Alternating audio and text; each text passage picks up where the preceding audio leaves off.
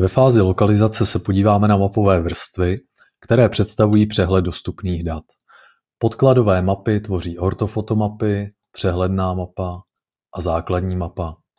Pro naše potřeby aktivujeme ortofotomapu. Správní hranice můžeme aktivovat od katastrálních územích až po hranice krajů a České republiky.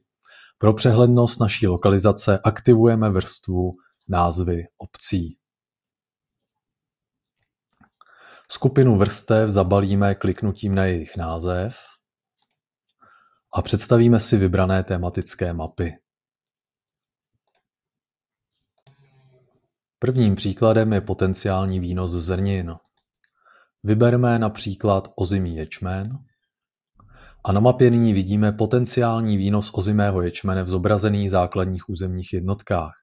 Po kliknutí na šipku mapové vrstvy zobrazíme legendu, podle které se jednoduše zorientujeme. U vrstev můžeme měnit transparentnost, což je účelné zejména v menším měřítku, kdy můžeme identifikovat i konkrétní půdní bloky.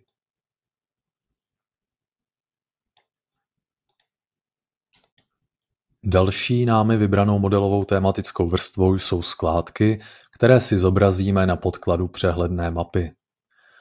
Vrstvu skládky nalezneme v tématu odpadové hospodářství a zaškrtnutím ji zapneme. Pro přesnější lokalizaci přiblížíme skládku nejbližší námi vybranému území a k tomu můžeme použít opět nástroj přiblížit obdélníkem.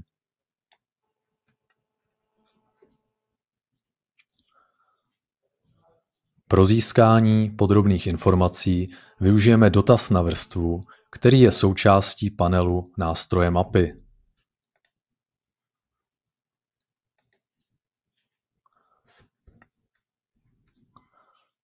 V tabulce nyní můžeme vidět podrobné informace o námi vybrané skládce.